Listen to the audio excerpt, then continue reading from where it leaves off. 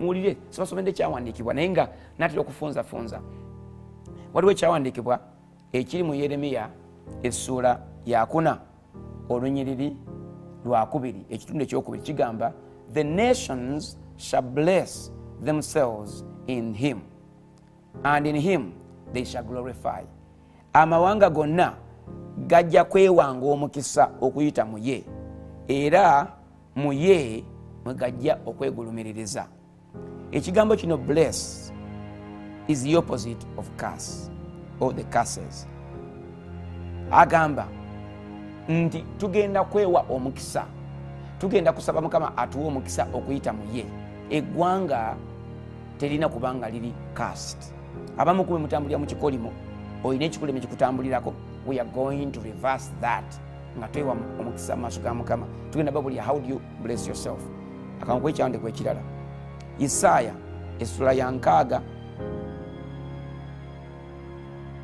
Mu ttaano olunyiri lwa 16 so that he who blesses himself in the lord shall bless himself in the god of truth.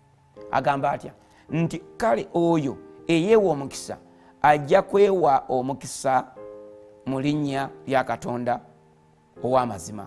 Amakulu you can invoke ekigambo eh, translation endala egamba nti you shall invoke a blessing on yourself. Twakulira mu bigambo bya kutukolo- tukolimira twakulira mu mbeera za kutugaana twakulira mu bantu baga nti kakanda kantamye kano. Toligenda kubaamu kintu kyonna. Ye gwe ali kuwasa alibonaabona ye gwe oba ki kyakubeerako olinga kasiru oli musiru buli kiseera ebigambo bye twakuliramu byebyo tebyali bigambo byakutuwa mukisa tewaali bigambo byakutu yimusa byali bigambo byakutuzza wansi. Wali otuteko ku kaseera notandika okwewa omukisa gwe ngaomwana wa katonda noga nti i am blessed beyond any curse. I am god's beloved child. Katonda manyi nti anjagala n'omukisa gwa mukama guli ku bulamu bwange. Naye kakati kyetukola mu kifo kyekyo tugobereganya ebigambo bye batugamba nga tukula. Netuteeka ama- emikono gyaffe ku matama netugamba omunaku waabwe. Bakugamba nti oli munaku ebiseera byonna kati naawe noyongerako omunaku waabwe munaku kaama omunaku era bwomusomi nno munnange ebizibu byennaku zino munnanga nti olaba ensi yaganye. Esente zabuze bannange simanyina kigenda mu maaso. Musana gwakamuwaleti weekolimira wezza wansi we- weebonereza. Kati bw'okola ekyo bayibuli ega nti ebigambo byaffe bitonzi.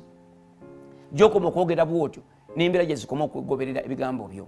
Bayibuli egamba mu yobu nti olyogera ekigambo olirangirira ekigambo nakyo nekinywezebwa kyova olaba bayibuli ega nti nakkiriza yensonga lwaki nayogera kyova olaba togenda nagenda mugulu okujjako ngaoyatudde ebigambo byoyogera bikuwa obulamu bikuteeka wansi oba bikwambusa waggulu.